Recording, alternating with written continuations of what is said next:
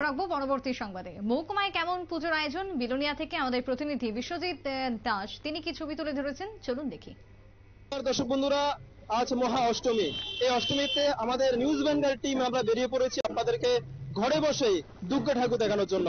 আমরা ইতিমধ্যে রয়েছি বিলোনিয়া শহরের একটি ঐতিহ্যবাহী ক্লাব, যেটা ইউনিটি ব্যায়ামাগারো ক্লাব আমরা রয়েছি এখন পুরান মোটর স্ট্যান্ডে সেখানটায়।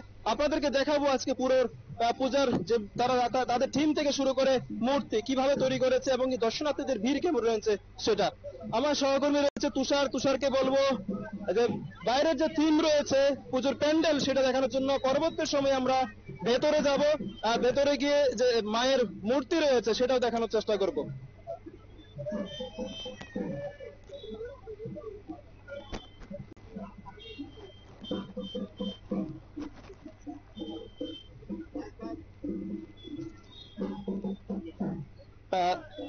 দর্শক বন্ধুরা ইতিমধ্যে আমরা পেয়ে গেছি যারা ক্লাবের কর্মকর্তা রয়েছে এবছরের দায়িত্ব এবং পুজোর এবং গোটা ক্লাবের তাদের সঙ্গে কথা বলার চেষ্টা করব তাদের পরিযোজনার চেষ্টা করব কীভাবে তারা এই বন্যা পরিস্থিতি কাটিয়ে উঠে পুজোটা করছেন। আপনার নাম? আমার নাম হচ্ছে মানিক লাল দাস কোন দায়িত্বে রয়েছেন? আমি নমস্কার, দর্শক বন্ধুরা ইতিমধ্যে আমরা পৌঁছে গেছি বিলোনিয়ার সীমান্তবর্তী এলাকা, বাংলাদেশ, ভারত বাংলাদেশ সীমান্তবর্তী এলাকা যোগমায়া কালীবাড়িতে। যোগমায়া কালীবাড়িতে অন্যান্য বছরের এবছরে তারা পুজো করছেন এবং কীভাবে পুজো করছেন, আমরা ক্লাব কর্তৃপক্ষ থেকে শুরু করে যারা দর্শনার্থী এসেছে, তাদের সঙ্গে কথা বলার চেষ্টা করব। আমার সহকর্মী তুষার রয়েছে। তুষার কে বলব, পুরো মন্দির চত্বরটা ঘুরে দেখানোর জন্য আমরা দেখতে পাচ্ছি, একশো একতম দুর্গোৎসব তাদের এবছর। যোগমায়া কালীবাড়ির, যেটা অনেক বছর ধরে তারা বিভিন্ন রকমের কর্মসূচি করে আসছেন। বিগত এক বছর ধরেই আমরা দেখতে পেয়েছি করোনার সময়েও।